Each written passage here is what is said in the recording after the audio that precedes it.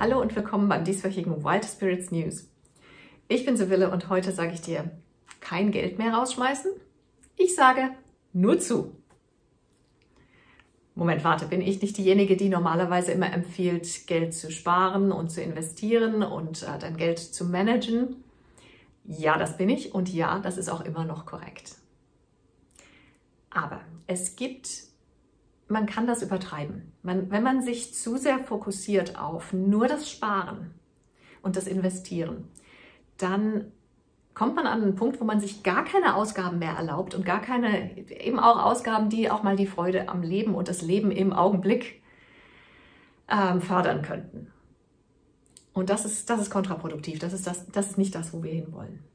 Daher ist deine Mission heute zu lernen, wie viel Spaß es machen kann, Geld rauszuschmeißen und wie du das bewerkstelligen kannst, während du gleichzeitig dein Vermögen anwachsen lässt. Aufgabe Nummer eins ist, wie du Geld rauswirfst, ohne pleite zu gehen. Ähm, ich habe schon in der Vergangenheit öfters über Budgets gesprochen. Ich finde es sehr wichtig, dass man, das, dass man sein Geld budgetiert. Das ist auch Teil von jedem einzelnen meiner Coaching-Programme. Aus dem einfachen Grund, weil es nicht möglich ist, Leidenschaften zu priorisieren und deine Lebensbestimmung zu leben, wenn du ständig im Hinterkopf Geldsorgen hast und wenn du dir ständig Gedanken machen musst, wo das, wo das Geld für die nächste Miete herkommen soll. Ist, ähm, deswegen ist das ein ganz wichtiger Bestandteil. Was ich immer empfehle, ist in Prozent zu budgetieren. Also nicht einem Budget einen bestimmten Betrag zuzuordnen, sondern einen Prozentsatz deines Einkommens. Und mit Einkommen meine ich immer das monatliche Nettoeinkommen. Also Prozente anstatt Beträge, weil wenn du mal zum Beispiel eine Gehaltserhöhung bekommst oder vielleicht auch mal dein Einkommen niedriger wird, das wollen wir ja nicht hoffen, aber normalerweise steigert sich ja das Einkommen. Es verändert sich. Und wenn es sich verändert, dann bleiben die Prozentsätze gleich. Der Betrag wird dann über alle Kategorien gleichmäßig verteilt jeweils höher anstatt dass du eine Gehaltserhöhung kriegst und wie das normalerweise so läuft, das kennst du vielleicht, drei Monate später ist die verpufft. Man hat irgendwie überhaupt nicht das Gefühl, dass man mehr verdient.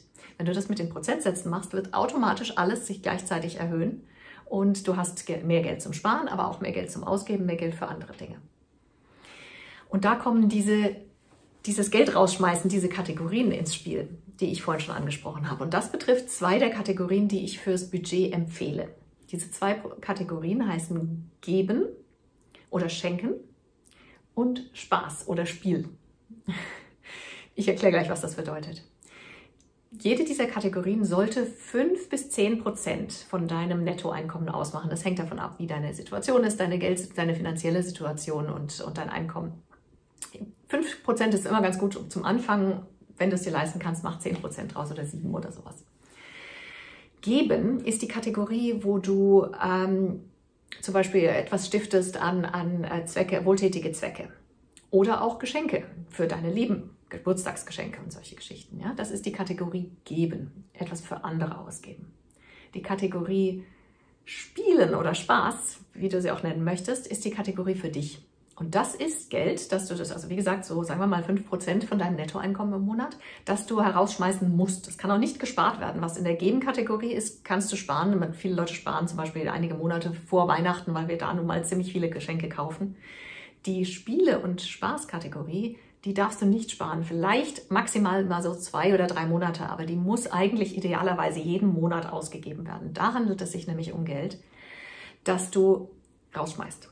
Das sollte etwas sein, was du nicht brauchst, aber gerne willst. Etwas, was dich anspricht im Internet. Du siehst irgendein Schmuckstück, irgendwas Schönes, das kaufst du dann halt schnell. Oder du bist mit Freundinnen äh, in der Bar und dann schmeißt du eine Runde Cocktails für alle. Es ist ein unheimlich schönes Gefühl für Spaß, für etwas, was dir wirklich Freude bereitet, spontan Geld ausgeben zu können. Und du kannst das ausgeben, weil es in deinem Budget liegt und du weißt genau, wie viel du rausschmeißen kannst, ähm, um noch in, in diesem Budget zu bleiben, um nicht dein gesamtes Budget zu sprengen und über den Haufen zu werfen. Aufgabe Nummer zwei ist, warum Geld rausschmeißen wichtig ist.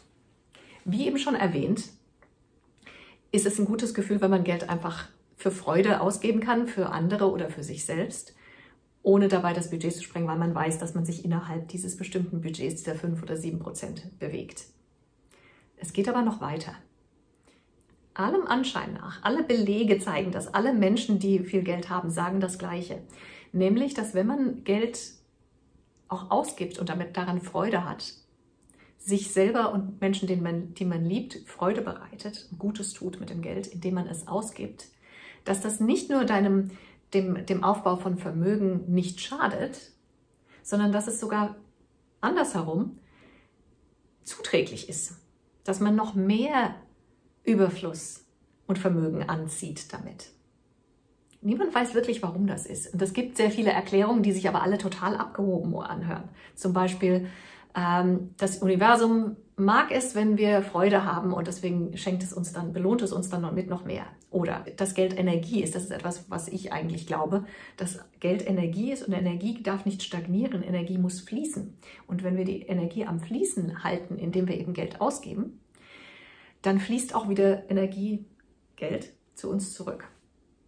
Trotzdem, es klingt immer noch abgehoben und du brauchst davon gar nichts glauben. Glaub einfach den, den Beweisen, den Belegen, dass es nämlich tatsächlich in der Realität so ist und viele Menschen das schon erlebt haben. Und probier das aus, weil wenn du die, was immer der Grund ist, es zeigt dir Erfahrung, dass wenn du Geld für dich oder andere Menschen, die du liebst, ausgibst, zu Zwecken der Freude und des Spaßes, dass das dazu beiträgt, deinen Wohlstand und deine, auch eben auch deine Ersparnisse entsprechend zu steigern. Das bringt mich zur Aufgabe Nummer drei. Lass mich wissen. Klick Antworten auf der E-Mail, mit der du den Link zu diesem Video bekommen hast und sag mir, was du von diesem Video mitnimmst. Budgetierst du dein Geld schon? Hast du schon sowas wie einen Spaß oder eine äh, Geschenkekategorie? Und wenn nicht, möchtest du sie vielleicht einrichten? Hast du vielleicht Fragen zu diesem Video? Du kannst auf jeden Fall mir antworten und ich beantworte jede E-Mail, das verspreche ich. Wenn du diesen Link für das Video nicht in einer E-Mail bekommen hast, heißt das, dass du noch nicht Teil der Gemeinschaft der wilden Geister bist und zu uns kommen musst. Geh auf wildspiritscoaching.com-de und fülle das kleine Formular aus. Du erhältst eine E-Mail in der Woche, ist wirklich 100% spamfrei. Du bekommst zusätzliche Informationen und Artikel und Empfehlungen von Büchern und anderen Ressourcen. Und manchmal erhältst du exklusive Angebote, die nur für meine Abonnenten sind, die niemand sonst je zu Gesicht bekommt. Also geh auf wildspiritscoaching.com-de und melde dich an. Du kannst auch Wild Spirits Coaching googeln, das bringt dich auch auf meine Webseite. Danke fürs Zusehen.